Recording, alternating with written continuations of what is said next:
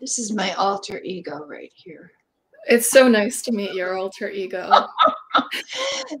she's very outgoing and oh, she's just adorable and just cuteness in a little being. Yes, and very, very, very intelligent. Yay! And so, everyone, welcome to the INFP Live Q and A with Nancy. Would you like to introduce yourself? Hi, Joyce. This is such a pleasure having you have me to interview. I was completely taken by surprise the other day when you asked me. Um, boy, I think of I think of myself as having maybe a cat with nine lives, so that each segment of my life calls out a different personality in a way, uh, and and I think that that you know is because the extrovert is not the real me. It is what i you know need to live out the inf the introverted feeling part of me. And the introverted part of me you know adapts to the external roles that i'm in. Um, the the you know what the inner part of me is looking for from those outer outer uh, outer expectations. For instance, I worked for the state for almost 30 years. And the first 15 years were just a huge developing thing. It was just the utmost freedom. I um, uh, got to pick my team. I was uh, a lead uh, lead team for the Department of Corrections in their uh, prison factories. So here's me, you know, an INFP, and I'm teaching people how to do um, quality control in, in factories. And the, te- the teams were managers of the factories. And um, in the Department of Corrections, whatever role you have as leader, it doesn't matter what your classification is, you're the leader. So that was very empowering, very, very empowering. And teamwork, of course, would be, and communication would be on the top of my list anyway. I majored in psychology. Um, and uh, I was able to do the MBTI throughout my career. Um, I was exposed to it uh, pretty early in my career um, through a tiny chapter in Sacramento that never became part of AT, APT. And um, that was, it was really fun. Um, I think that I'm happiest when I'm having fun, and I'm having fun when I'm doing something new and challenging, but that has a lot of depth. I learned early on that if something didn't have a lot of depth, I wouldn't be able to put my time on it because it would it would level out at long before you know it would appeal to that need for deep challenge. And definitely the state was a challenge for me in that way, much more rule oriented and uh, stuff like that. But what it did bring out from me were, were analytical skills, the ability to put those skills on paper. And writing has always been my uh, very strong point. I started started as a teenager up in the den. The den was about the size of my desktop with a typewriter, and I don't know if you. I can still hear that you know, that bang, bang, bang, having to go down four inches for every, for every letter. And I started writing stories, but my mom came across something I had written and she took it personally. And so I just had to stop. That was another thing though. And I bet IN, other INFPs are good at this too. I learned that if I put something in plain sight, it wouldn't be discovered.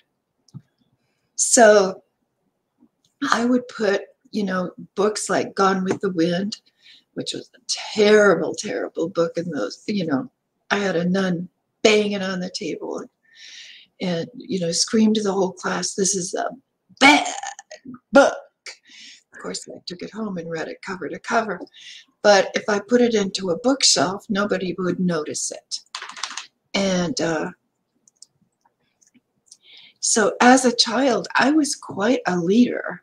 Um, uh, and that's interesting to me. And when I look back, I go, you know, how does that fit? I don't know. But um, Elizabeth Myers Briggs um, says, and I love this, she, uh, it became kind of a cartoon, that for the introvert, um, the introvert stays in the tent and then sends out her auxiliary to get just just get a bunch of information bring it back let me decide bring it all back. And um, so you know those things that you do on the outside are not necessarily going to be valued by the inner inner processor. And by the way john beebe really really helped me when he said that infps are processing all the time. And so, what I've noticed more recently, I don't know if I'm going beyond your question here, but what I've noticed recently and am teaching myself is that while I'm processing, my face is relatively inert. And I see that in other INFPs now that we're on Zoom, people that I know who are INFPs and they may sit way back with their eyes down the whole uh, the whole presentation. Um, and that can be interpreted by others as you know that you aren't you you are not going along with what they're saying and sometimes you're not but um, uh, and so I also remember reading in a book that more focused on portraits of INFPs that, you know, the worst thing that could happen to you would be to have an INFP love you. In other words, they're just so incapable of expressing that love. And I have three children I I really adore. And so a lot of my adult life has been spent, you know, communicating. I think my dog's resting on the keyboard. Um, is learning that, and that I have to use engage that uh, auxiliary function to um, to get to get across, you know, my my real feelings, and um, going from that to you know the experience of my underside which is you know the daimon or the demon that eighth function attitude which for me is introverted thinking. I um i only actually have connected with it and and realized that i i wouldn't go i'm in the eighth function but i would but realizing that I was kind of captured. It was like I was in a cell where there was no other reality. And the the feeling function is absolutely frozen. There is no uh, you know, I cannot, no matter what that other person might mean to me or how might they might get across their their their you know their emotions or what you know they didn't really do um, that is impervious. And so I kind of liked that model of Dr. Jekyll and Mr. Hyde because really Dr. Jekyll doesn't know about Dr. Hyde and Dr. Hyde doesn't know about Dr. Jekyll. And I think that, you know, when people are talking about, you know, when they get in the grip and stuff like that, they're I think I really have been able to, because the, the love I share for my daughter, who is an ESTP, because of her and the love overcame the barrier that completely shut off, you know. And, re, you know, I remember one time she was, tears were running down her face, and she was asking me to forgive her for a very small thing again, she probably watched my face and, you know, concluded that it was, but I was way back there somewhere. And finally she said, I've said I'm sorry. Are you going to keep me up here waiting for your uh, forgiveness? And it clicked to that, you know, other side of me. And that made me see how when I'm in that mode, I don't know how how to get out of out of it, or and I I feel justified being there, and I justify it. And I haven't really even you know when I was uh, uh, trying to communicate with somebody who was going to do an in the grip kind of presentation, I was I've been completely to get across that you know that isn't that isn't something you just do this or do that. Know, it, it it takes a real willingness to get that you need to feel the pain that you inflict. And that links up for me with something Jung said. He said, There is no greater pain than realizing the pain that you cause a loved one. That's just profound to me, you know, that, and you can see where an INFP would value that. And so I do allow myself to experience deep pain from time to time uh, for my own behavior. And uh, there's there's no there's no way to undo that either. Um, you, you, you know that's another thing is you, you can't you can't really undo it. Um, you can only you know you have to kind of let go so that you can let in the love that that person has for you. Yeah, it's true. There's no greater pain than knowing that you've hurt a loved one. And that can be a great transformative agent, a wake up call, a slap in the face to change one's behavior. One of the biggest motivations to almost reevaluate how you've been operating on autopilot and how the autopilot might have been accidentally hurting people. And so I really love that amount of self awareness that you have, Nancy. And so she is a board member of the Sacramento Association of Psychological Type. And yeah, we're going to be going through John Beebe's eight function model today. And I have an infographic to help people follow along as it might be a very complex subject. But yeah, Nancy, I'd like to ask you about your experience with your hero function, your dominant function, introverted feeling. Okay, is it up? Is that slide up? It is now. Yeah. So as you see here, the hero function, the need is competence and mastery. And the behavior is it welcomes challenges and reliability.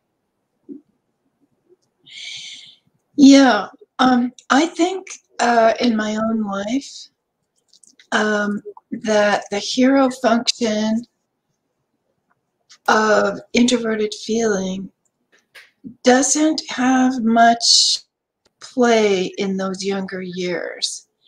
And like I said, when I was a child, um, I roamed the neighborhood mostly with a boy down the street who was a couple years younger than me. But we we played games. You know, we played games in the street. We played um, we played canasta, we played, uh, and uh, so I think, and and uh, Isabel Briggs Myers says this too that introverts develop an extroverted side much more, much earlier than um, than an extrovert, but um, it's hard for me to find that introvert in my childhood. Um, because I just I was one of those kids that gathered other kids in the neighborhood and and um, or w- went exploring with the boy down the street. Um, and, you know, kind of anything goes. I loved riding bikes.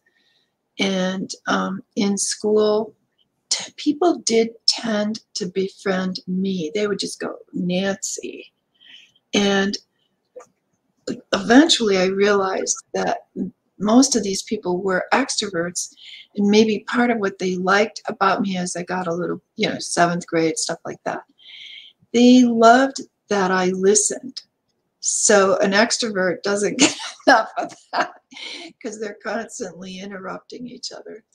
So I really see that most of what I saw and most of what others saw was me extroverting through that intuit, intuition. Didn't really matter, you know, what we were doing. There was always another option. And we we played pretend games, roles, cowboys and Indians. Um, I'm a lot older than than most of the people who would listen to this. and um, I loved my dog.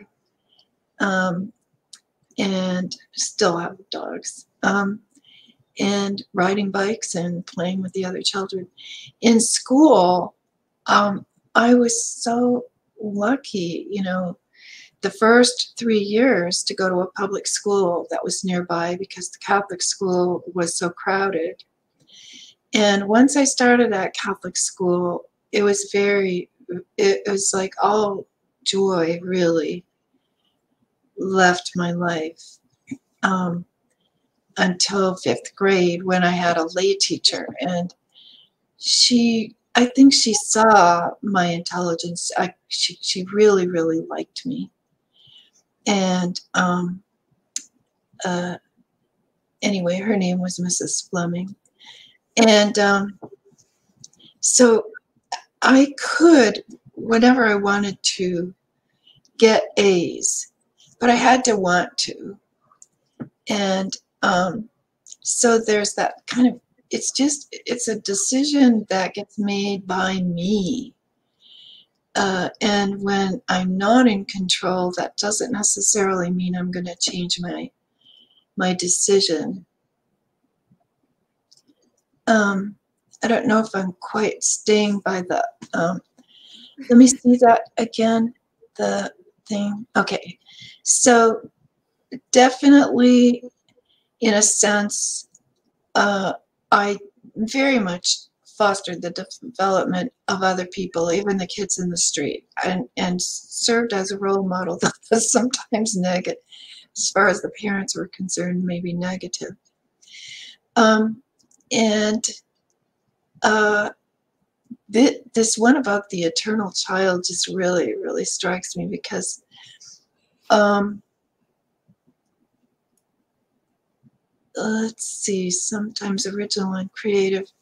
Definitely another aspect uh, throughout my childhood was that I was learning how to play the piano and I became really good at it. By the time I was 13, I had taught myself to play Rhapsody in Blue from start to finish, and it was over 30 pages. And um, so, you know, that was known that was known to me. So that was that was um, you know that confidence and mastery and and standing out from the crowd. I always had to be in in chosen areas better than than it you know I as much as possible. Um, but uh, in, even in the piano, when I was 12 or 13, I broke my finger and so I wasn't taking piano lessons for a while. And it was during that period that I took taught myself Rhapsody in Blue. I had the record too, so I played it really fast, like Oscar Levon, Levon I think his name was. And so when I went back to my teacher and I wanted to play that piece in the recital, she she um, ended teaching me.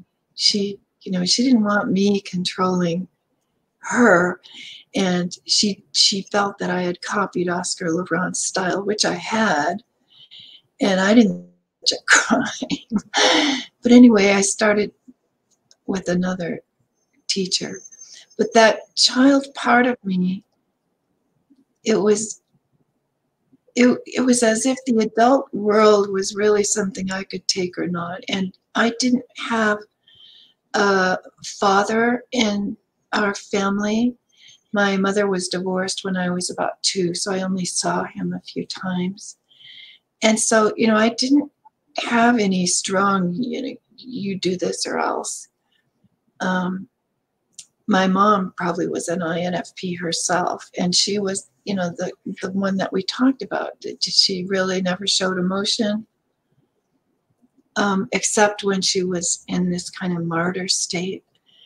Um, she never talked um, to my sister and I, and um, our dinners were silent, except for me and my sister throwing food across the table we were trying to get attention. And my poor sister, I think, probably was ENFP. So she starved in this introvert mom and sister, you know. Um, it was, I think that was really, really hard on her. Um, let's see that list again. So I was down kind of at the child. Um, what I see today and in the past many years is that my eternal child is probably um, introverted sensing. And what I see about myself there today and in the last few years is that I love Excel. Well, what is Excel but copy, you know, writing down reality but you're always writing it down from the past. You know, you do your taxes, it's the past. You you download your your bank statements, it's from the past. And that is um, uh, and and then never wanting to do the analysis of those documents. So, you know, I'll create Excel document after Excel document and then it comes time to do taxes, and I'm like, oh, no, no, no. But I have to do my own because I want I want to be able to play. Want, and that is, for me, taxes are a little bit of a game. Um, how you how you tell your story is how you you know figure out how to manipulate you know manipulate the expenditures that you have and um, so um, so i like doing that but it also really really helped me in my work to be able to do um, excel and i was able to create an excel document for managing a very complex management program that the department of transportation was doing for their management staff. But in the training office, of course, there were several people working together to put that event on once a month, you know, over a period of months. So each program was the start of a new program. And, the, and, and they were all kind of in, at different stages every month so that one program would have started, one program would have already been halfway down the road, etc. And I was able to use an Excel document to put together each person's role in whichever uh, part of that every month so that they were all interchangeable and they wouldn't get confused. And um, and then just with a click of a switch, you could put in, you know, another one, and it would just you know, drop down this complicated list and insert itself where it needed to be. So um, my sons do the same thing. They um, they invent programs for the places that they work, and one of my sons is actually an IT manager. Um, so that's kind of where the child uh, it is. But don't you see that child as being extroverted sensing as a child? You know, in the neighborhood, playing games in the street, you know, running around with the other kids. I see that as extroverted sensing. I loved being outside, still do. Loved camping, loved, you know, as an adult, hiking and stuff like that. Love being in nature of any kind. It can just be in my backyard. Um, but I do see that extroverted sensing for me is a toy. And I don't know if you can quite understand that. My daughter is extroverted sensing preference. And um, she, it took me years and years and years and years to see that for her, that wasn't, yeah, it was my trickster. um, uh, it's in my trickster, um, but as you know, in the eight function model, but um, her extroverted sensing isn't sensuality particularly. It is informational. It has, you know, it, there's no value exactly put to that. Uh, yes, she can take in all these things that are going on around her um, instantly, you know, without without I would have to be thinking like crazy to do that. Um, and it would slow down the process tremendously. She's she's like a camera. She doesn't judge what she's seeing. Her thinking function does that. So if she has to get out of the way of an accident on a freeway, that thinking function get you know says it. The sensing function tells her where to go and it was it's a really interesting process for me because I'm so value laden that everything has a value. So to be outside, she is one. One, you know, I used to like to take the kids everywhere I went, but um, she's the one who said, "Once you've seen a redwood, you've seen them all." Doesn't that exactly express the the you know there, there's no priority in that sensing. And um, i could use a little bit of a feedback there. Yeah that's that's fascinating indeed. I love how one of the functions will remind you of another function and then you'll just go to that function and then you'll go to the other function it's like i don't have to ask much. You're already inferring into what where to go and you're filling it in so it's amazing. Yeah there's a lot of introverted sensing in your answers because you're providing a lot about the past and past context as you're answering to which is fascinating. But yeah are there any other functional traits that you'd like to highlight in john beebe's attitudes before we move on to the questions? Um, i would like to talk about um, the opposing personality Sure. and um, oh my gosh, you know, it's just been such a challenge for me uh, figuring out what role that really does play in my life. And of course, it feels so. Um, what do you, what's I, the word isn't coming to me, but oppositional.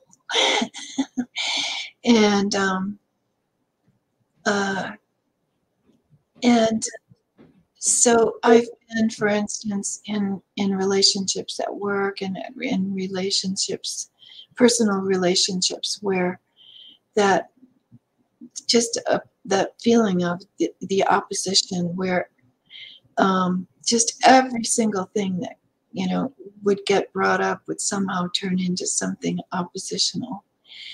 And at one of John's seminars, I finally clicked that um, uh, that it's a form of developing, and it's the primitive form of developing, most primitive.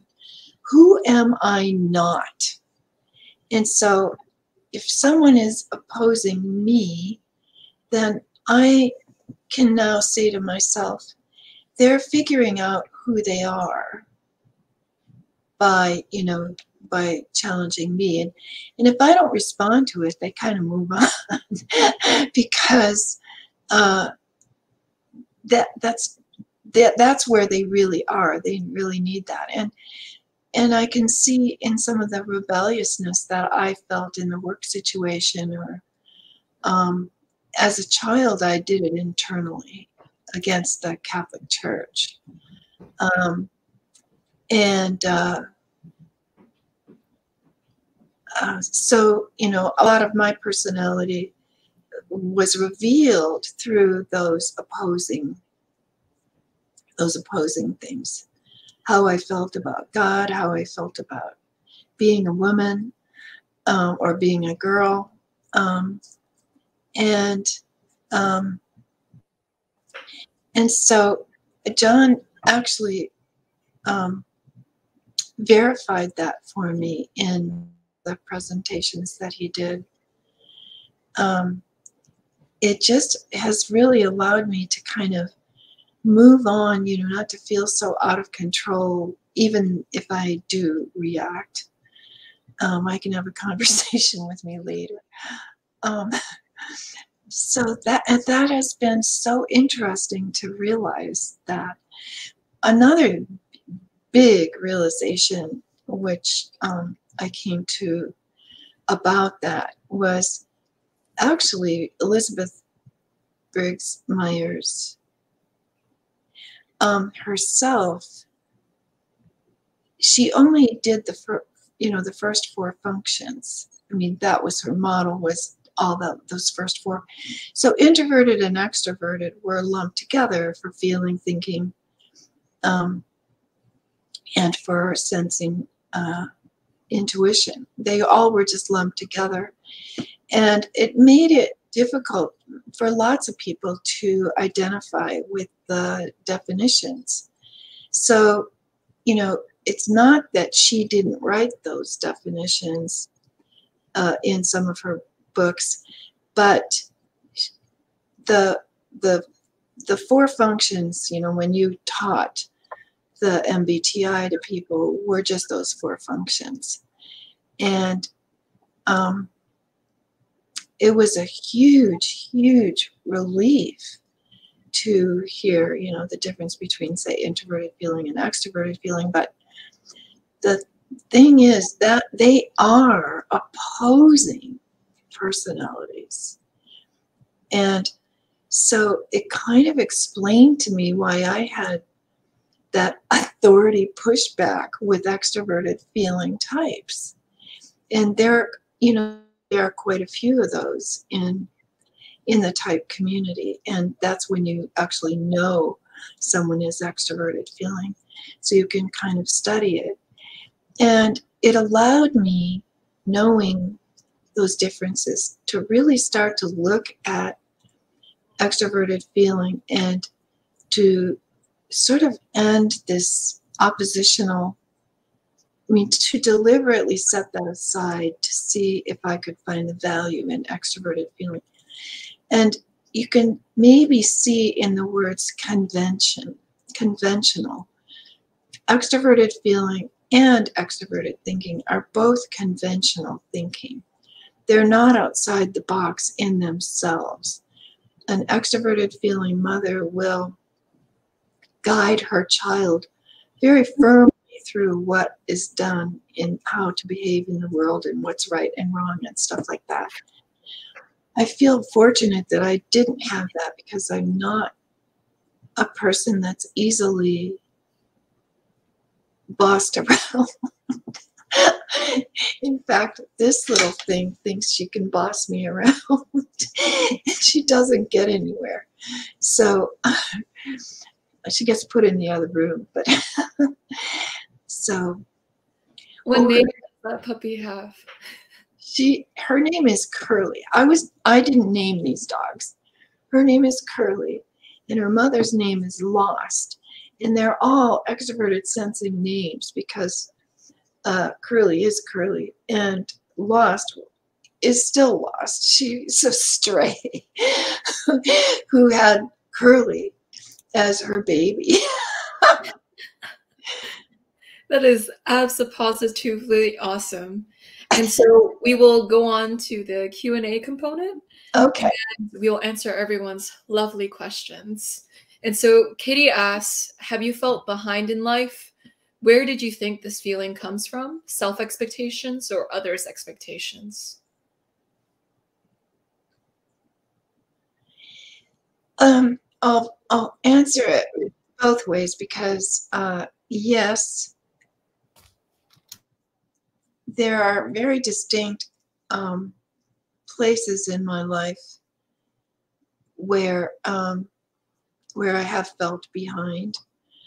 Um, and like I said, in the third grade, when I went into a Catholic school, and I got all this um, propaganda, really, um, and I reacted to that by going inward and I probably was using my extroverted thinking to, you know, dis disqualified them, those teachers, from my um, list of competent, of somebody competent enough to teach me stuff. Um, and that was a i was even able to move back and forth over that. Like my third grade teacher was incredibly competent in math. And you know i allowed her to come in and uh, you know just i loved how she did that. Um, but she also frightened all of us with her stories of martyrdom and communism and stuff like that. And um, the fourth grade teacher was just stupid. it was really, really, really, really easy to write her off. But, you know, that I didn't exactly, I guess you'd say I felt behind. But um, the next place where I felt so confident was in the first 15 years of my career when I was just allowed to do all these really, really neat things and travel and and create training programs and write them and have a team that, you know, we just worked together like uh, we were great.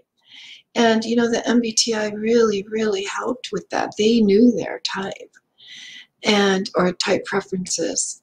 And um, so we were, we, we had this easy, you know, we would even use it inside the team to, okay, did, did you, did you notice that the J's brought in materials that were already written and the P's wrote them themselves. um, that was, it, and it made it fun and interesting. Um, we didn't have the eight function model, but it still was very, very, very useful. But the last 15 years was really a pushback. The first 15 years, I was always my own manager in a way. I was the head of the training office uh, the last 15 years, I wanted to come back downtown where I live. And I sacrificed being the manager and became a co training officer. It was the same classification, but not a departmental. And it, it really got more and more and more painful.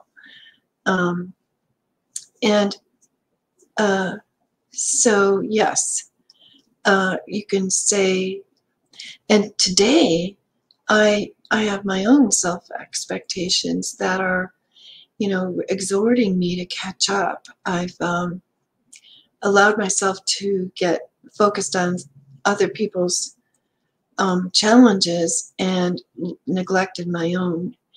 And now I'm having to, um, I have huge self expectations and the inability to, you know, carry them out in the present uh, and I'm struggling with that. But it's a challenge I love. So. A beautiful, beautiful answer indeed.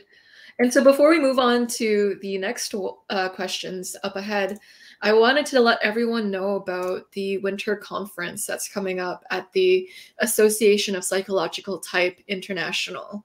And so if you want to see John Beebe, Dario Nardi, and other amazing speakers at this event, feel free to check it out in the links below once I put it there. And so you'll see that I'm interviewing a lot of people from the Association of Psychological Type and from the different communities that aren't typically on YouTube. And that's because I kind of want to help build a bridge between the different chapters between type and have everyone meet each other and get along. So, as a part of the goal, the mastermind goal. and so, Nancy, the next question we have is from Andrew, and he asks, What are some lessons you've learned when you led your team in the corrective department? One big one, which I shared earlier, is that in and and this came out maybe more you know as I went on to other departments but um, I got so much respect in the Department of Corrections because of my role on a team. And so uh, that it doesn't matter what your classification is in corrections if you have the lead role you are the leader and they they will you know they have that respect for nominal authority that you know other uh, other departments don't have. Um, and I what I I had the freedom to choose my subject matter. So for all the new employee orientations that were that I gave a team at uh, corrections, I was able to administer the MBTI. So, and we had a week together. So they knew their type preferences. And those type preferences were validated. They'd take their results home and, you know, around the dinner table, they would share them and the family would, oh, yeah, dad, oh, oh that's you, you know. So they, it, it became an integral part of the way we continue to communicate later because they would be on a team and they would, you know, together with, you know, for some other reason. Um, and so I would say that there's huge advantages to people knowing their type preferences because there's so many lessons that come with that. And the, the biggest one, I think, is that all types contribute value and at first, this is another lesson I think that I learned throughout those many years, first 15, are that you go through a honeymoon period where you just think, oh my God, INFPs are the best and only best. and you know it takes discipline to to realize this is the mom this is um it takes years to uh and and I think definitely being part of a team in that environment, you have to create respect for other type preferences. Um, you you just you have to help people see that without those P's, new new lesson plans weren't going to get written, or without those J's, you wouldn't be able to meet your your your goal in time. And um, and to kind of joke a little bit, you know, about about the frictions. Uh, it gave us a sense of humor about that and and a, and a, a sense of acceptance. Mm. Yes, well put, well put. And so, what is your experience with doubt? How do you deal with it? Oh, um, I think that's a, a really uh, temporal. You know, that takes up a huge portion of my my life, really, and especially you know when you're deeply involved with someone who's in an opposing personality or an environment that's in, a, in an opposing personality.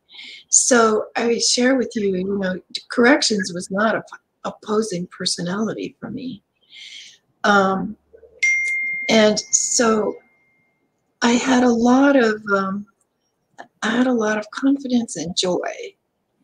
Uh, I I loved my experiences during there, um, and after that, um, you know, with the um, environment being more uh, controlling and unreasonable. um, uh, there, there could be, say, a lot of anger uh, that was withheld because of the situation, and then you form cliques with somebody that you know agree about that. Um, this also was during the era of uh, 9/11, and um, I was working at PERS, CalPERS, at the on the day of 9/11, and we were forced to stay in that building by my by my supervisor long after other departments had been freed to go home. We didn't know if we were going to be alive another day, and it greatly affected my health. Um, so there, you know, but I I would say that what I see in myself is either I become oppositional and I keep it out here. You know, anger is a, a real adrenaline rush and it does, in a sense, protect you from fear. It gives you a sense that you have power and, and that you truly exist. But um, when you're not in the situation itself, that's causing that doubt. Like you um, are part of a team and you, you, you just feel like you're not really being included. For me, it got a paranoia, and um, and uh, throughout those second 15 years, you know, I often dealt with uh, with paranoia and an internal fighting back, and uh, keeping, you know, trying to keep track, trying to nail down what was really happening. Um, very recently, because I've realized the role of the opposing personality, um, I can free myself from what's, you know, what I, even if I have doubt, it's just, it's just a, you know, it's more of a, um, like that sensing thing. It's a fact. I had that thought, and uh, there are lots of other things I can think about, or just let you know, let that moment move on, which is a lot. Uh, it's it's really a wonderful uh, release. That sensing, you know, being able to look out a window or just to to visit my internal state can be very centering. Mm. Yeah. Wow. What ideas and concepts do you flirt with the most? I do love playing with John Beebe's model and, you know, with myself, like which, where am I now? You know, oh, that's, maybe that fits here, maybe that fits there. Um, uh, I would say the last several years, though, I really have been dealing with that um, opposing personality stuff and and um, and then you know this relinquishing of power which I don't have. You know, letting go of stuff I you know I may never know. I may never know if that that thought has any reality or not. And um, uh, allowing um, the well concepts. Definitely, you know, typology is is huge for me. Oh no, internet connectivity issues. See, this is my worst fear as I go live. the uh, freezing of computer networks. But as we are dealing with these tech issues, I guess perhaps I can talk with you all. Hey, you're all you're all stuck with me. And so feel free to ask Joyce questions, and Joyce will answer as much as Joyce can. oh, hey, Nancy.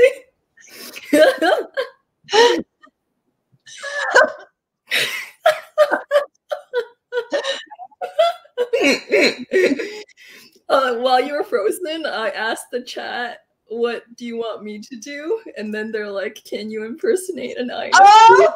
And I was like, "I'm gonna die! Why?"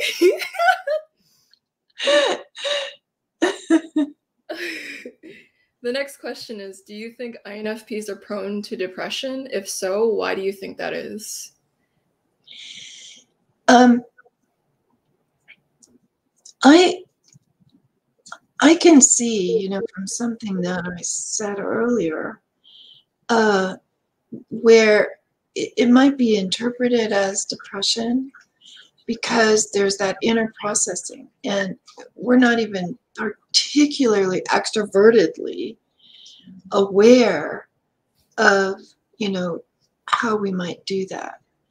Um, I do think that, you know, life during a strong opposing personality is, in a way, a form of depression, but it's where the anger masks the depression. Depression meaning lack of affect, lack of differentiation of emotion. So, um, depression to me is the complete absence of differentiation of almost any kind. That's why we call it gray. um, and so um, uh, I can see where there's been a lot of anger in uh, some of my relationships, and that I would now see as, you know, where my life was not in my control and of course, I'm learning and teaching myself that I always was in control. I just chose anger rather than, you know, taking responsibility for that. Mm, yeah. I, sometimes, oh, continue, my bad. No, no, no, I really want to hear it. Yeah. I never know when NE has the stopping point because I'm like, when is like when is NE going to stop, or do they have another idea that they're going to branch off to? And I, I don't know when to judge that. Oh, okay, they're firmly stopped here. All right, all right, I'm going to jump in. and so, INFPs and depression. I find I a lot of INFPs and INFJs are a little bit more prone to depression because some of them, like a subtype of them, deal with existentialism a lot. Like if you look at Soren Kierkegaard, he was an angsty boy and he's a philosopher. And sometimes when you have a lot of thoughts about existence or just about life itself or just these broader concepts, it can make you spiral down to dark places. Uh, so I noticed neuroticism tends to group with those some some sections of those types so it would make sense. Uh, st did you say? Kierkegaard hmm? was? Did you say kierkegaard was i ST? think i think uh, kierkegaard is an infp in my opinion. Oh. Yeah yeah. It, definitely those big questions. And depending on the answers um, that to me would you know do they lead you to uh, a philosophy that um, where you have no control? Mm. and um, that's very interesting that you see it as infp i um, had a pretty long relationship with somebody i i don't really i i've guessed and guessed what type he is, but um, where he chose, um, there's so many philosophies out there today, you know, on the internet and stuff. And so he chose things where, you know, you have absolutely no control. Well, I would say that's pretty depressing, where um, typology is not no control in fact, the more you know, the more I think, the more control you control joy, you know, you can let in your life. And so, anyway, but I, my mother, I think, was INFP, and she was, I think, clinically depressed through my childhood. And, but I think it was induced by some surgery that she was given that she didn't need and that afterwards she got absolutely no support or knowledge or anything about you know uh, building her back up emotionally so yeah so the moral of the story is that depression can come from a myriad of causes and sometimes it is rooted in situations where there are situations that gone wrong and you, you you don't always have a solution or closure to those situations and the lack of closure to traumatic situations can cause depression because there's an element of feeling hopeless or out of control or a despair to it um, in some sense and so, do you think type can be used to reach a wider demographic without being becoming yet another tool for discrimination? asked Matthew. And so, yes, I do believe that is the case. I see type as a needle for injection. So you can either use a needle in a health context to provide a life saving drug to someone, or you can use that same needle for euthanasia. So ultimately, what you use type for is up to the user. Um, and it's not type's fault what you use it for. Um, I think that there's an, a human disposition to want to use type to create otherness, which is why Carl Jung talks about the concept of one sidedness. Uh, he talks about when you double down on the natural parts of your personality to a too much of an extent you create a one-sidedness and everything that is not similar to you you create an otherness to them. And so people's inclination to use type in a discriminatory way comes from their one-sidedness their desire to use everything around them to create otherness so it's not type's fault it shows the collective mentality of otherness that comes from a society that is a majority wise one sided. And I think type in its best use is to tell you, hey, you are projecting onto other people how you would want them to be based off of how you process the world. And so instead of projecting on everyone should be like me, like what Linda Berens says, you know, be like me syndrome. Instead, you notice that other people actually think differently than you, and that when they're not using this part of their brain, they're actually allocating that energy towards other areas of their brain instead. Because the natural inclination for people when someone can't do something that you can do is to sometimes say, oh, you're just not using your brain in general. When the reality is typically they're just allocating different parts of energy towards different parts of their brain, which is why they may not be as good at, at certain things as you are.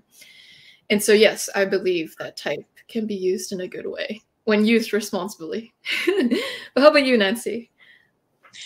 Yeah. Oh my gosh. You know, um, and I I had a recent, fairly recent experience um, with uh, with someone who insisted that um, I was unsuitable for a certain ro- role because of my type, and that this person was suitable for this because of his or her type.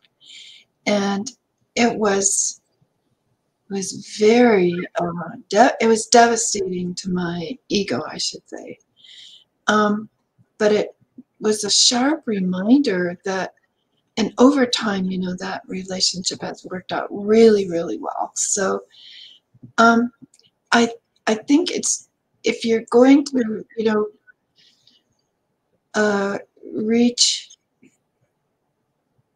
uh, prevent it becoming a tool for discrimination is that you take, you know, that person and, you know, that group through, you are going to, you know, the first year to 10 years maybe, you're going to so worship who you are that you are going to really think that your type is the type and that everyone else is just an S or just a T or just a J or just an E or, you know, you're just going to do that. And, you know, when you do that, watch yourself doing it because eventually you're going to grow up and you're going to realize that every type is valued in this world. We did not evolve as a, a human population to be one type, one superior type. Um, we evolved in in response to nature and what we were going through, and at different times, different types have you know added or detracted from the current civilization. But you know, enjoy your honeymoon period, and realize that you know you're really doing what the what type you're not taking advantage of what type gives you, which is your own blindness to other types. Because I think that's useful. That kind of puts them on notice. And to begin to train yourself to watch for those blind spots. And the example that I would give is that I had a performance report from my supervisor in the Department of Corrections. And in it, she said something about me being late. And I was very offended because I had already made a, uh, a you know, a, an agreement with her that if I came three minutes late, I would stay three minutes late. Well, it took me a very long time. I was, it, this caused me a lot of consternation to realize that that was the quite way the question was worded. She was an S, so she answered the question correctly. It didn't say, does Nancy make up her time? Or, you know, she was just doing her S. And it just, it just was uh, so wonderful to me to be able to see that lens, but I could only see it with a, you know, big smashing of my own um, preference. And over and over again, now I welcome the window that you, Joyce, gave so many of us the other day, where you would describe the behavior uh, or the thought process and then you would kind of tell what that what what part of the you're calling it part of the brain you didn't call it that the other day but where that person was trying to you know get to or what uh, road they were on and it it just it just pulls down all the the angst that you felt about it their their motivation has so little to do with what you conjured up in your mind from your type preference? Yeah, one of the greatest amazing benefits of knowing type is not taking other people's actions personally. And so judgment is the greatest form of projection. So type actually helps us judge less and project less, and it gives us greater peace through that. And yeah, whenever you use type in a hiring or promotion decision making type of process. It is both unethical and illegal too. And so you learn during MBTI certification that you should never use it for those purposes. So the people who are doing that are just these random rogue people who are using it for that way, but not all of us are like that. It, we're all told that that's against the code of ethics, 100%.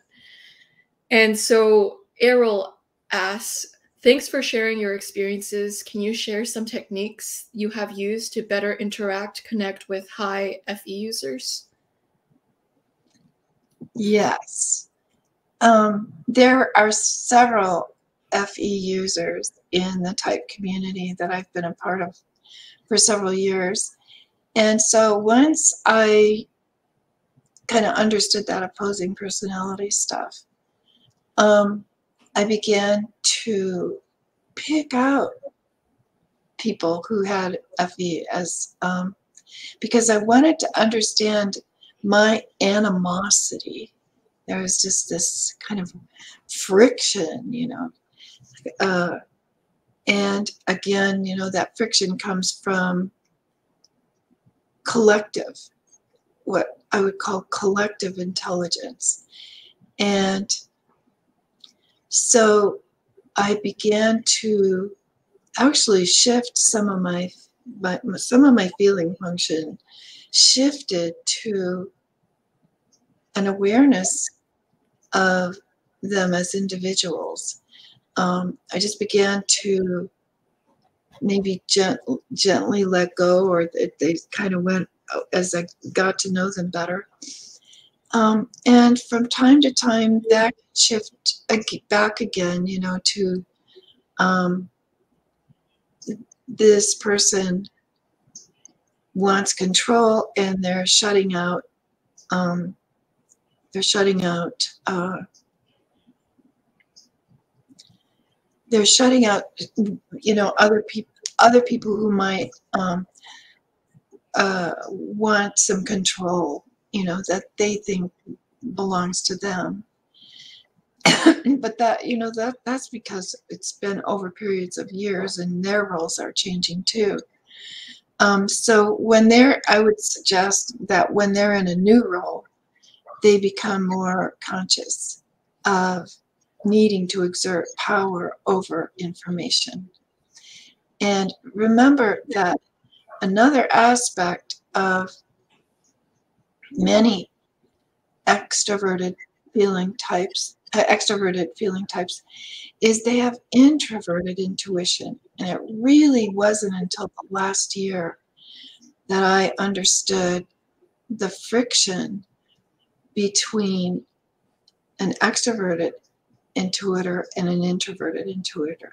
And so little is really said about that. And, and Joyce, you've probably done a really good job of it. Um, this, uh, you know, this, the extroverted intuition is often at play with extroverted feeling.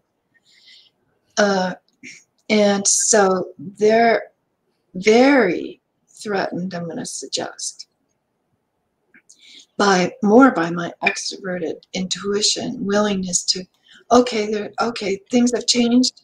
All right, well, that, then here's the options that pop up what do you mean? You know, we've got to think about this again, you know. Um, it's so, it, in their mind, you are fickle. For me to be able to see how I'm viewed in a situation where you're trying to survive um, as fickle. You're just fickle, you're unreliable, you talk too much. Uh, I can't think. Um, you trigger me, etc. Um, I sat up one night reading, once I caught that, Linda Berens' um, interpretation of introverted intuition. And I just immediately got it. And uh, I've just been able to stay out of that, that um, what would you call it, mine. Uh, and um, and we we have a really really really nice relationship now. Mm. yeah that's amazing. What does your support network look like? How important is it for people to maintain relationships with others? Yeah um, i think it's very very very important maybe especially for an INFP. I think that um,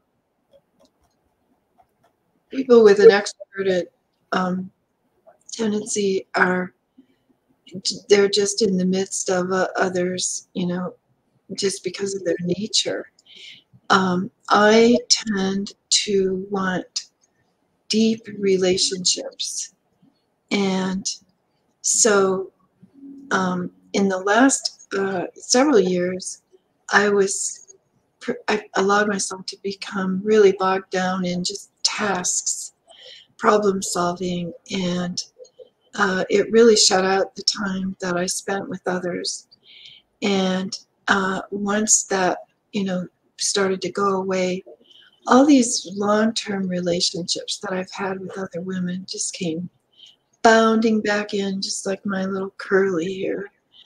Uh, joyful, laughing, um, all kinds of little fun things to do that had no um, out, output or or actually doing sensing things like gardening or cooking or something like that. And it just shows me my my relationships are long term and they don't die even if they're not nurtured for long periods of time. Mm, well put. Any advice for INFPs in their early adulthood stage? I think it would help to be exposed to type and to have their parents exposed to type uh, tremendously. But one, one of the key things I realized since I had access to the MBTI very early, I would take it every few days. Not really, but close to that. I think a lot of people did. And what I noticed is that my FI and TE were just like one or two apart. And that under pressure, my NE, my extroverted the, the, intuition would go way over, like like way over. And sensing would be just obliterated. Obviously, the real world. and um, and eventually, I thought, well, what what circumstances are you in that would help you develop FI? You know that. And I was working in an organization thinking is, you know, the way everybody wants to appear extroverted, they want to appear that way. They um, probably um, often, in fact, I've seen proof of that, modify their answers according to the um, situation they're in. So, um, so FI children, um, like I said, I don't see evidence. I, I guess I did internally I made decisions very young that I was going to have children. And I didn't even think about marriage. And um, that um, I was going to very early in life allow them to acknowledge their sexuality because I felt I lived in a very repressed, and I did, environment as a child. So I made decisions about my future at a pretty early age, but you know, how many of those, most of the time I was in what I think of as extroverted sensing. Interesting. Have you done jobs to which you feel you are particularly suited or unsuited? Both. But I, I think my job, you know, uh, and staff development was wonderful for me. I fell into it by accident. I majored in psychology. Um, that was always of interest to me. And um, and uh, working for the state allowed me that intuition, extroverted intuition, to move from one department to another, um, which gave me a different external reality and you know different values. Um, and so i think the state was a very good employer for me. It allowed me to make a bargain that i could see. I work this much i get this much time off um, it's very transparent or at least it was and so that external was taken care of, and I could concentrate on the quality that I brought to the job. And it allowed for tremendous creativity. um, I would be given a topic and you know do an analytical process to bring it you know through through the okay period. I loved you know writing. I liked uh, analytical stuff, and you know something that just came up recently. Um, I don't have a good memory for names. I don't have a good memory for, um, you know, uh, facts. And so if somebody asks me a question in the middle of something, unless it's a topic like this, um, I'm going to, you know, I'm just going to sh- shut up and, and stutter. Um, but what the state allowed me to do was to do research. So I all, uh, early on had um, access to a word processor and did my own typing and writing and then um, you know it gave me a lot of training in analytical skills and composition and stuff and um, so it you know i did a lot of writing i did a lot of presentations i did a lot of group things where you bring out people's knowledge and stuff. I i did career development stuff. I think I was very well suited for that position. I'm not suited for um, bosses who are not knowledgeable about what they're about the topic that they're a manager of, which um, often often happens.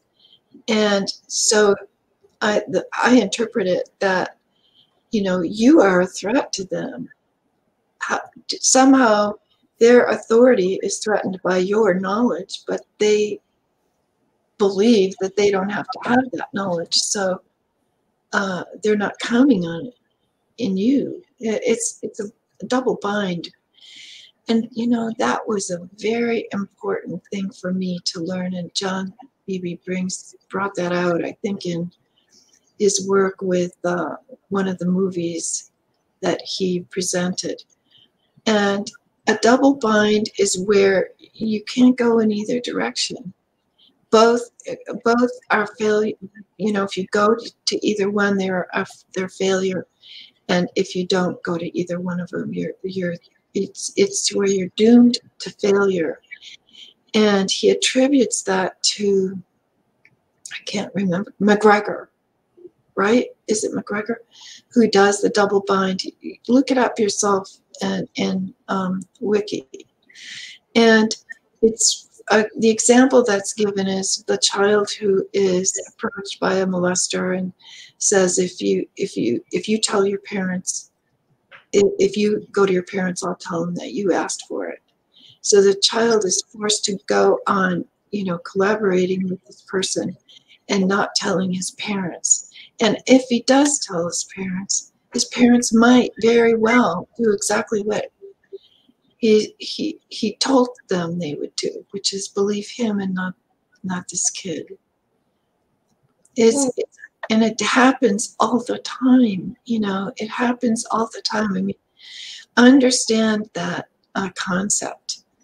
Um, and that is what he John also puts us being the trickster's trick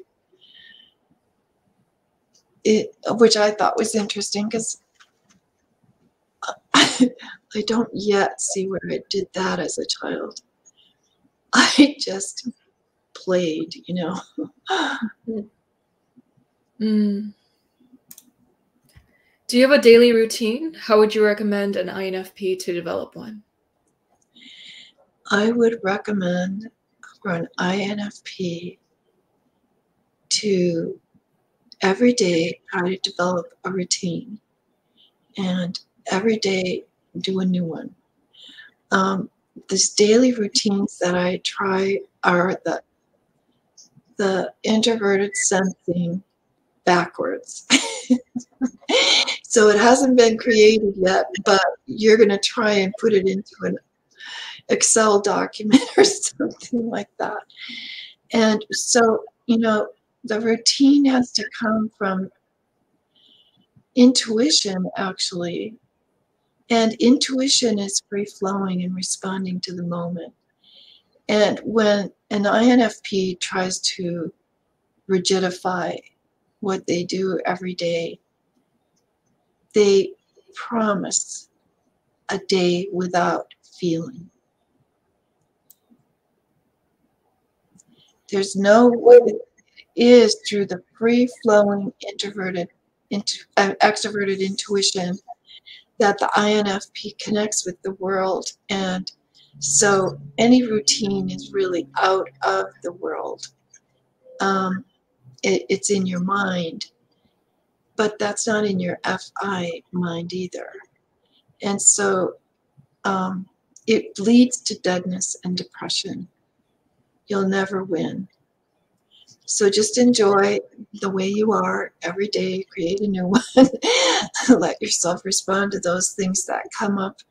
They create the joy and the real meaning for you in your life.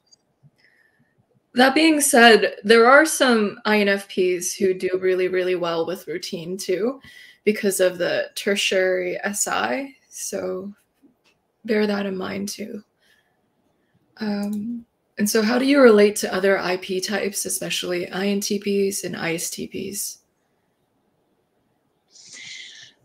Uh, I love INTPs. Um, and uh, my sons all they're they're probably ENTPs, but they have that introverted thinking. Um, and I think that introverted thinking and introverted feeling are original.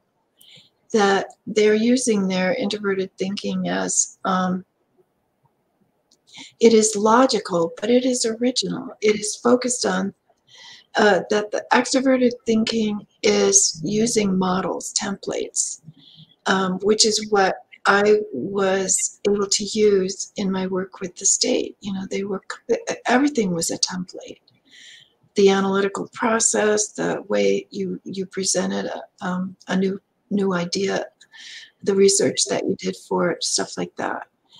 Um, so you did it on things that had worked in the past. Is what I'm trying to say, uh, and that's how you made made your point and made it safe for them to try something new. Um, but the introverted thinking will constantly surprise you with the, uh, will surprise me, I should say, with what they put together logically. And it's very convincing and interesting to me. The introverted intuition in an IN, let's see, is it, no, they extrovert through uh, uh, uh, intuition. And so we have a, we have a way to speak to each other um, ISTPs, I don't know very many. Um, I think I know of ISTPs. They're very you know, supposedly um, uh, very physical uh, and independent and oblivious of social norms and uh, confident and constantly in trouble.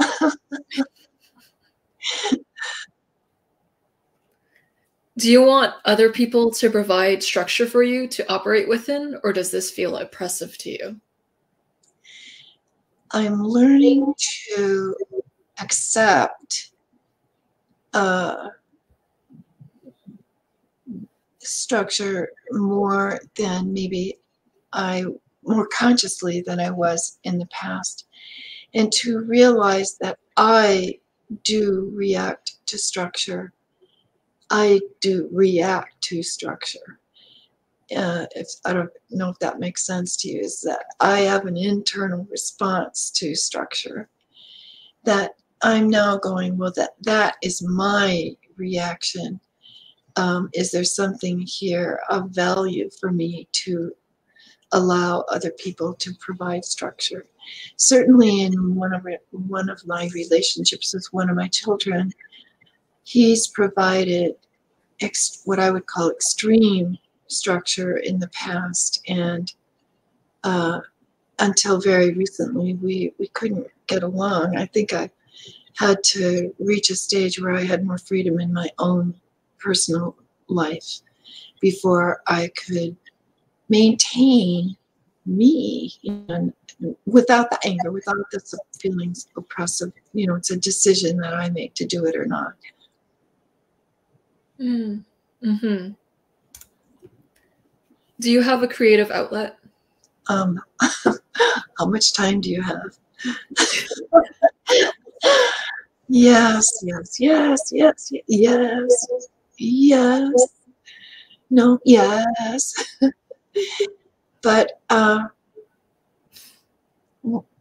definitely type, uh, especially the last couple years, because it was kind of threatened there by the uh, coronavirus.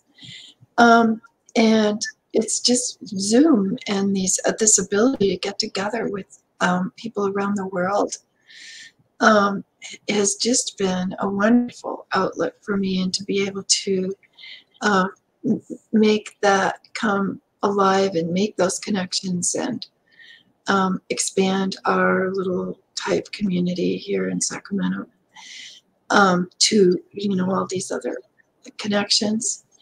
And um, but I also love playing the piano and I love the house I live in and um, the challenge of um, trying to keep up with it um, trying to recover from uh, not doing my taxes for um, uh, several years. That is creative for me, by the way. Um, uh, and uh, to learn the technologies, you know, that go with Zoom.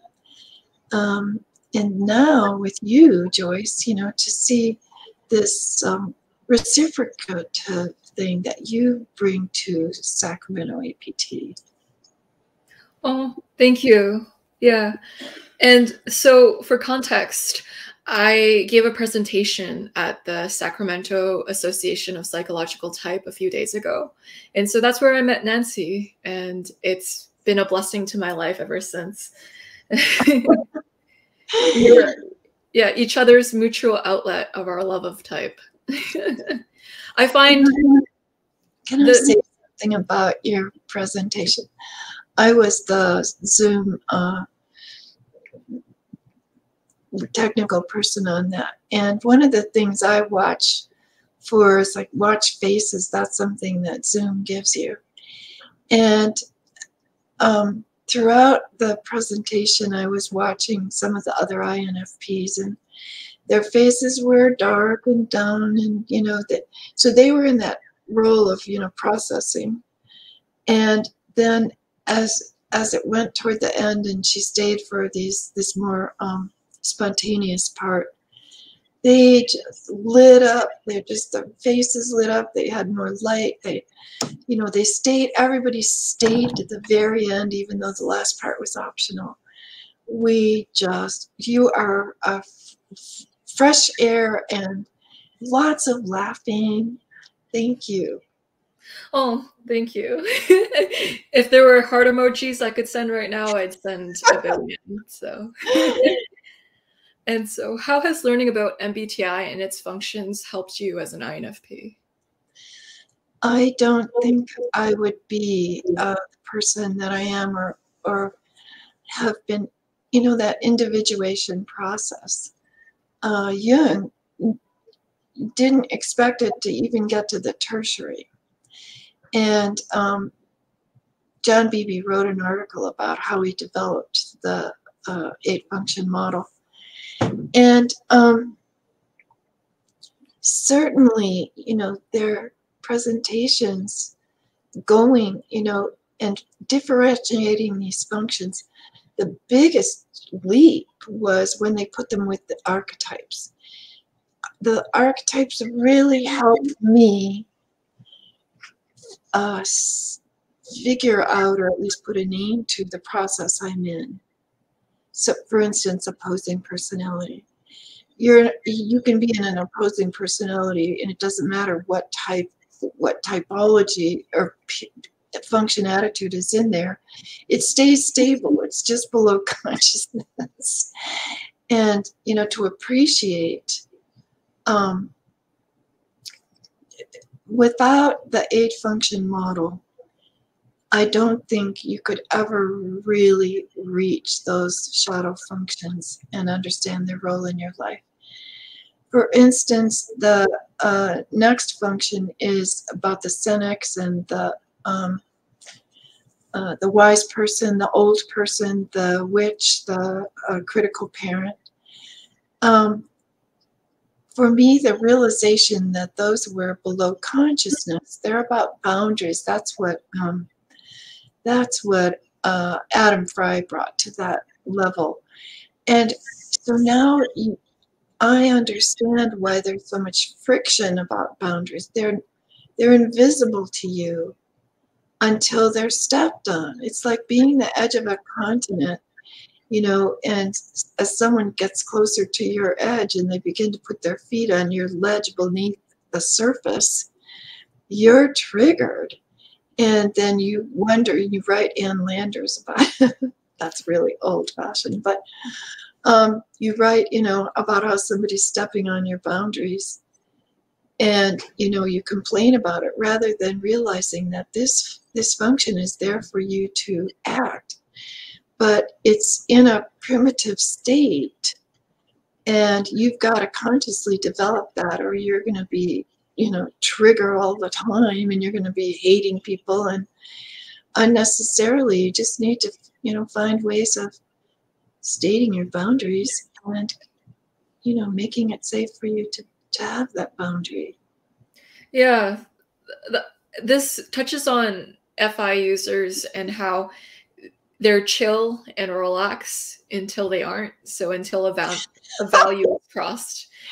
Oh my God. Then, I scare people sometimes. and I don't know why. then the bear or the volcano comes were you previously mistyped? If so, you can share your process of elimination. In uh, my role as a staff development person, people always said to me, You're not an introvert, you're an extrovert. And yeah, when I'm in an extroverted role, uh, they're they're not they just aren't seeing that. Um, but that's about you know that's the only one that comes to mind. Mm, yeah yeah. Introverts can activate a very extroverted mask for short periods of time and so they can give off the illusion of appearing very animated and very outgoing and broadcasty for that short period of time. What can help with typing is figure out how a person's like throughout their entire life, not just in a moment, a singular moment of time. Because there have been countless times in which I've been called extroverted, and it's just mind boggling. And so Janine asked, Is your presentation online, Joyce? So it is available for the people who have signed up for it. I believe that they get sent the recording after, but I'm I don't. I'm pretty sure that's not available online. Or what are your thoughts, Nancy? You you know how the logistics are for SacAPT. oh, oh, you mean the presentation that you did um, with us? Yeah. Um, uh, it's not online. No, it does only go to people who registered for the class. Yeah, but possibly in a few years' time, I might be doing another presentation there too. So you can attend that one and you can get yes. the of that yes. one. Yeah. We would love to have you every year. you're just so much fun and you're just you are very, very knowledgeable, Joyce. Thank you. Oh, you're just hitting all of my heartstrings. they're yeah, they're all all feeling it right now. And so, what is your opinion on crying? What I noticed about myself, um, I was in a relationship with somebody who was manipulated by a former partner by her crying. And it was interesting to me because I don't ever cry in a relationship with somebody to get them to do something. I cry at movies. or, you know, uh, when I'm thinking about ways that I hurt one of my children, or um, I hear a story, you know, in a newspaper or something like that. So that's I'm that's just personal. Um, I very rarely would cry to get someone's someone to change what they're doing. Mm. Have you ever done psychedelic or some other mind altering discipline like meditative retreats? Yes. And uh, I years and years and years ago, um, I took some psychedelics, and I very much attribute my spiritual connection uh, to those experiences.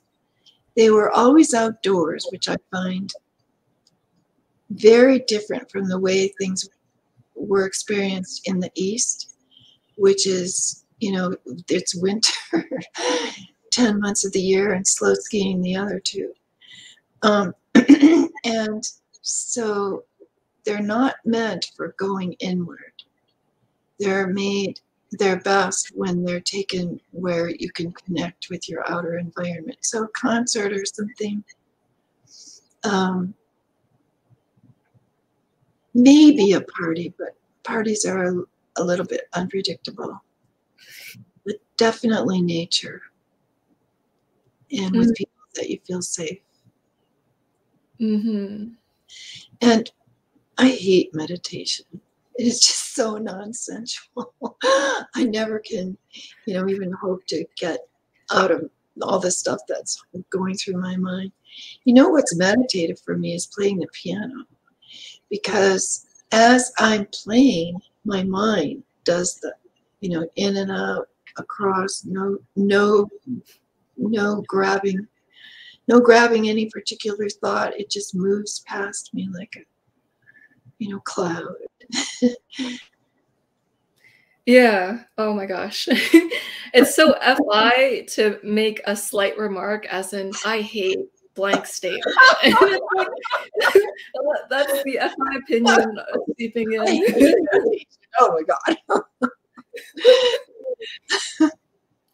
My INFP brother thinks I am cold. INFPs do not view silliness as emotion. Is it my FI blind spot, maybe? So if you're saying FI blind spot, I'm assuming that this person's either an ENTP or an ESTP. So yeah, what is your opinion on ENTPs? Yeah. Well, that's interesting because, you know, one of the one of the people I'm very close to is an ENTP, and uh, so I'm confused of my, my I'm an ENTP. So you think this is an ENTP? Is that it? Yeah, yeah. So they said FI blind spot, and that's typically ENTP, and or ESTP. And so what is your opinion of those types? Uh yeah in general. We, we don't have to like answer answer the questions. They're good for prompts for thought too. So any anything it generates within your brain cloud feel free to like just vomit it to us. So i'm gonna do it from my you know my experience with my entp son. Okay.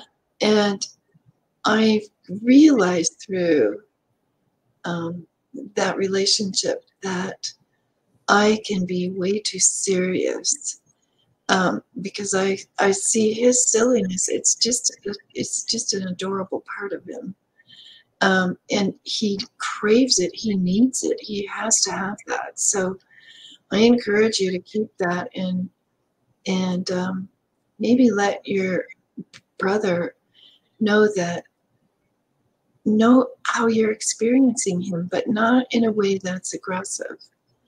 You know, just because that will appeal to his compassion, his FI, his um, um, and you both have extroverted intuition as in common. so um, another question you might ask him is, uh, does he see some of any of your ideas as being original or surprising to him? Um, because that introverted thinking is very, it's very original. And FIs love originality. mm. Has anyone ever given you advice which meant a lot to you? Yeah. What is that piece of advice? Well, they come from my daughter, you know, this ESTP daughter. Um, and I do have an INFP friend who gives me advice uh, sometimes about, you know, how I've been, how I might have, inter- how I may have interacted with some other people, because she's often, you know, there and she's part of it. Um, I often invite advice from other people, um, but I want to kind of stay away from doing that now that I'm older because it creates a you know a, a world that you try to hang on to so if i went to somebody for advice it would be because i'm perceiving something a certain way and so i'm ultimately looking for support and creating a place where that that that viewpoint is shared I'm not saying I would never do that, but I'm careful now because that will make me think that I need to hang on to that. Um, but my daughter's is always just, you know, it's that SE. There's there's no controverting it. It's it's factual observation of something I'm doing. And she, and her emotions will show. She can cry in front of me, and there's nothing manipulative about it. mm-hmm Yeah. So their advice meant a lot because it was a direct observation, and so you can't really deny a straightforward look into what you've been doing. Interesting. Hmm. What are some current pieces of advice that really have helped you? Like some sort of things that have stuck with you, quotes, or specific ways of viewing something that altered your reality? Or what what piece of advice would you give to someone who is discovering that they're an INFP or who has known that they're an INFP for a while?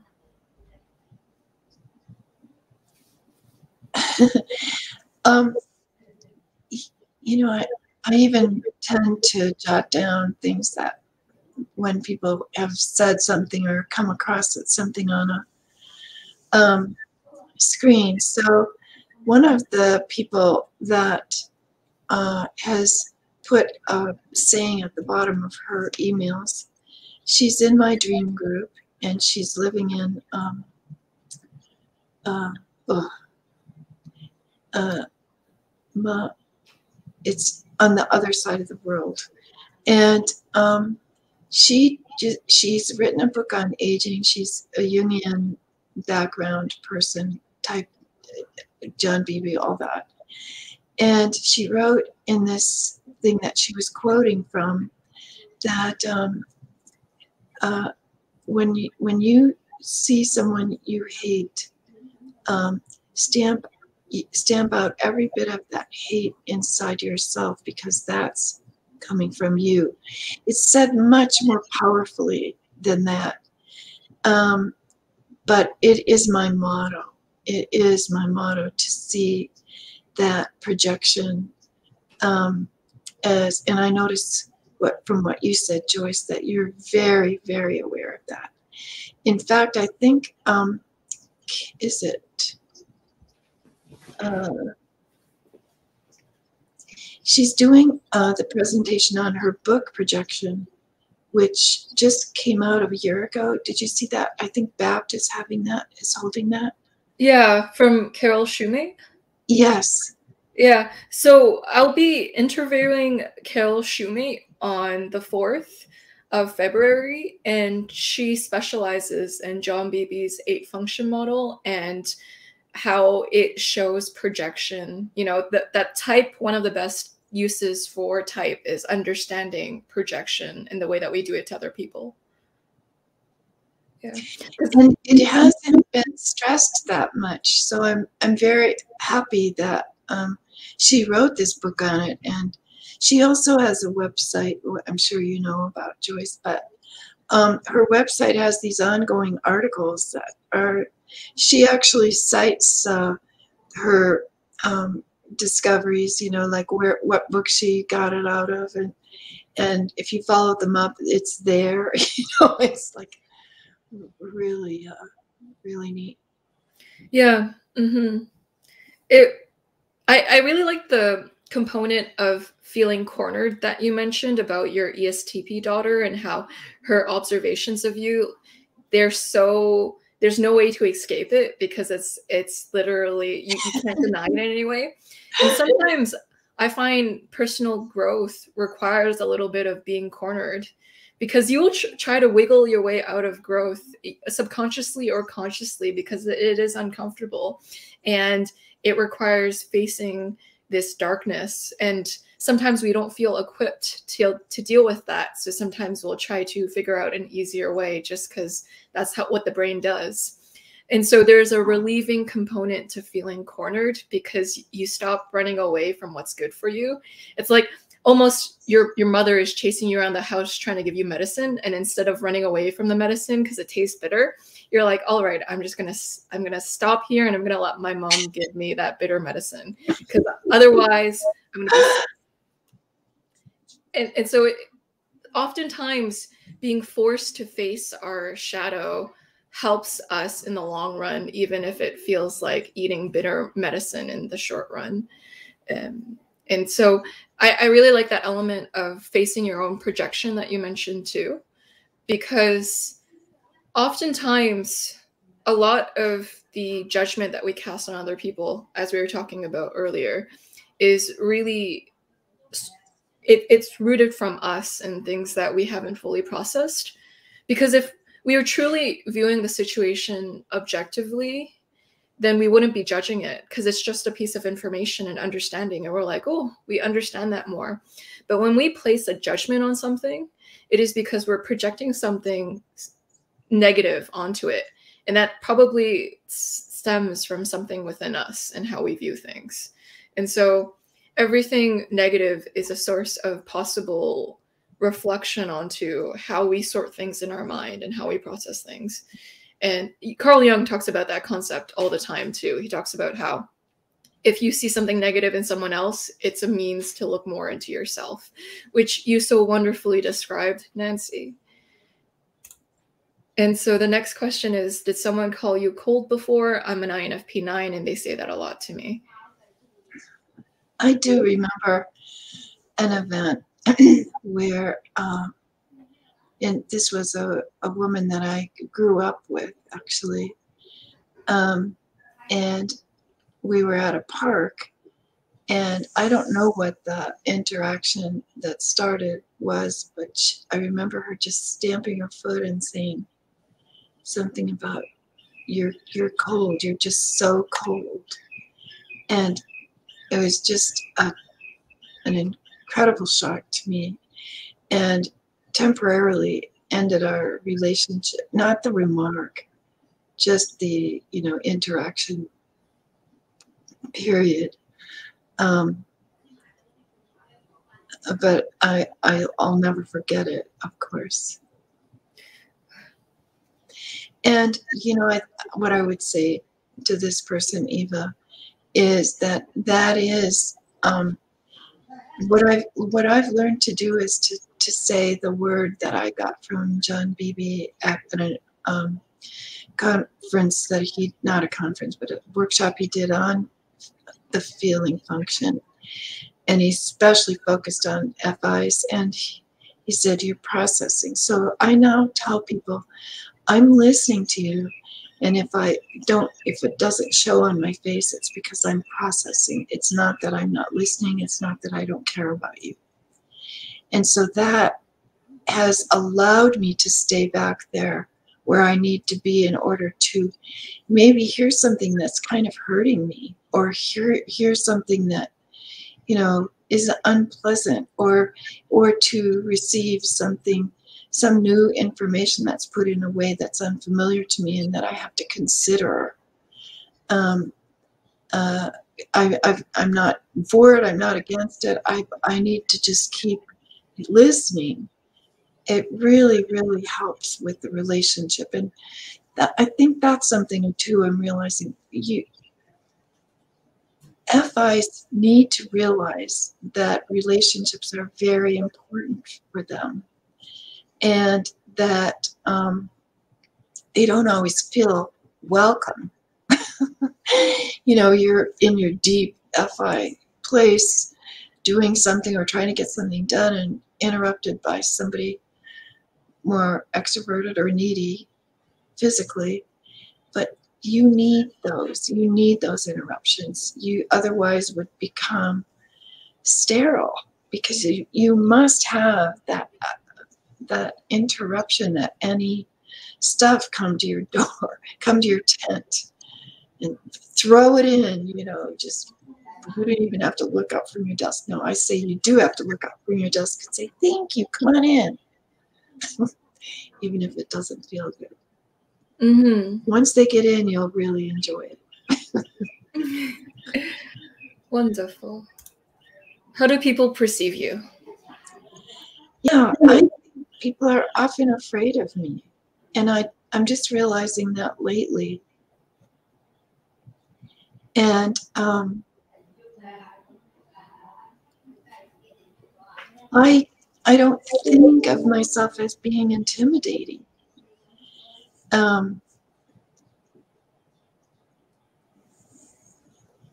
so I, that's I, I do think uh, that you know, John Beebe also said about FI is that they are the type that is the most in touch with power. And I think he means that in the sense of they are always on the pulse of the power in the room. And um, that they know, they can analyze how that power is being expressed or conveyed. Uh, and they can spot the weaknesses in that way that it's being conveyed. Um, and that at some level people pick up on that. I can't help it. See, you know, like Joyce today, she is very, very powerful, but look what she's doing to she's using that power for something that I consider a greater good. And so there's no there's no friction here. There's no power um, play or struggle. Oh, that's so sweet. I loved how you turned that into a compliment. I really appreciate that. Yeah. So it seems like what you're conveying is FI is very sensitive to injustice in the sense that it notices when power structures, you have someone really high in power who uses their power in a not so good way. And so that can be like, can step on a value very easily. And so the last question we have is any advice for an INFP stuck in an FI SI loop?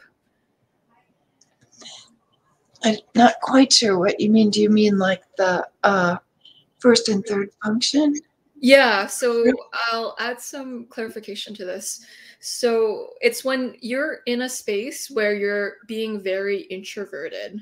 So you're forgetting about your extroverted functions. You're like, by NE, bye, TE. I'm going to be stuck in this extremely hermit, extremely reclusive, extremely taking out the outer world state and in my own head all the time. How do you get out of being too much in your own head? I can relate that to the last uh, last part of the last job that I had. Um, and of course, I didn't even see it that way, but now that you put that in front of me, I can see that where uh, there was so much power and it was hiding the purpose of it. I, I will never really know the purpose of it. Um, but where I just was more and more and more and more thrown in on myself for answers, and there weren't any answers. Um, I'm not sure if you're talking about this, you getting yourself into this, or, but, or if you're in a situation where, you know, power is being deliberately removed from you, including the reason for it, and um, it that's that's what you might call crazy. but um, I don't know that seeing a therapist at that point is exactly capable of, you know, taking you out of it. Um, if if I were your friend, I would just hug you and, you know, bring you back to your body and um, and say, "This too shall pass." Um, it's it's situational. It's a defense against an impossible. Um, you're in a double bind. You're in a double bind and now you can see what where that would unequal power that's not even explained to you or that's not transparent in any way. Yeah well put and another way to get out of the loop is to try to escape sameness so try to do something that is different from the same old, same old if you are in a loop. Try to figure out a way to step out of your comfort zone, to do something that stretches you a little bit. Um, maybe having a friend drag you out of your head a little bit, drag you into a fun space. Um, to have a place where you can be a little bit goofy, where you can use your imagination more a creative outlet. So finding a very, very good creative outlet uh, could also help too. And so thank you, Nancy, for coming out. You have a very soft and gentle demeanor and aura, and that exudes the natural kindness within your soul. So you emanate a soft but very strong, kind, and very virtuous spirit. So thank you for that. You have a very amazing, very amazing way of articulating yourself. You include a lot of past experiences and you have all of these possibilities that you give us on how, how you interpret the questions. And so I love that. And you have a very good acquaintance with John Beebe's eight function model. And so that is a really amazing quirk.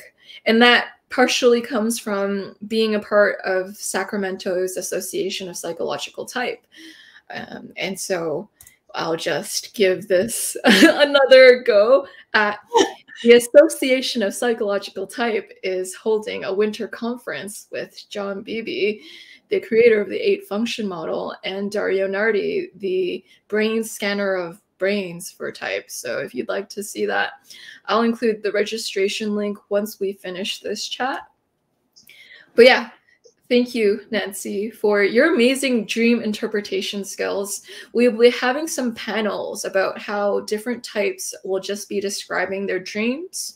And there may be a correlation to type and there may not be, but it'll be fun to talk about the depth that exists within our subconscious in the form of our dreams. And so stay oh. tuned for that. Yeah. Hey. and yeah, thank you everyone for asking your amazing questions. Yeah. And I love you all. And I appreciate everyone who I invite on my show and my audience members who are reoccurring. They're like family to me And so thanks for being that type of family in my life, my my type family.